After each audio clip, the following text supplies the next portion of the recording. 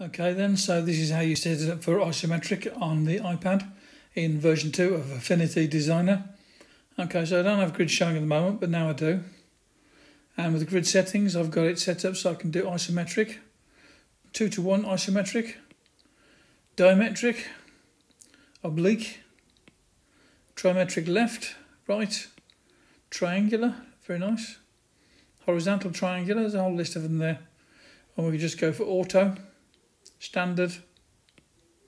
And then we get the isometric setting there. And you can change the spacing that you want in this bit here. So if you want to it says 8.5 at the moment so if you get rid of that and change it to uh, 10 click on OK. I'll change the sizes of the uh, spacing. And you can have a different gutter size in there as well as well if you want to. So maybe you want to have a gutter in there of say 5 okay don't think you really need to have a gutter in there, but then again, I don't do that much in the way of isometric, and maybe you do. So let's put that back to zero again. And then when you want to sort of uh, get drawing some stuff, let's uh, select some things here. Go to the um, the magnet tool up top here, go to snapping options. You want to enable snapping and have it with this here, snap to grid. So let's uh, say that snap to grid is working there.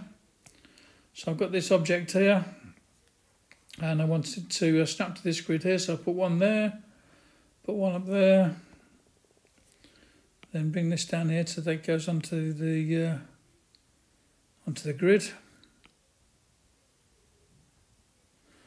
And then I can do the same with this one at the front here. Obviously sometimes you need to go into this as really close as possible to make sure that it's going to snap properly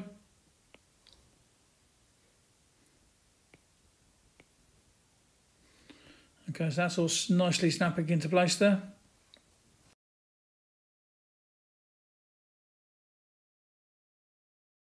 Grid snapping, lovely. So that's an easy way to get set up for doing isometric drawings. You've got a few choices in there. So if we go to this here, we can turn the grids off there and turn it back on. And I say if you want to do any changes to it, you go into the grid settings. And then you've got this row of stuff at the top here. Got your grid mode, spacing, divisions. Uh, let's try changing the divisions here. So let's change it to uh, 2 to see what that looks like. Okay, so that's putting an extra bit in the middle there. You can change the colour of these as well. So if you want to have some of them in uh, blue or a darker colour, you can do that. Hope that's helped you out with setting things up for isometric in iPad Affinity version 2. I'm Dave Allen, I'm good and geeky. Subscribe to the channel while you're at it. Go on, you know you want to.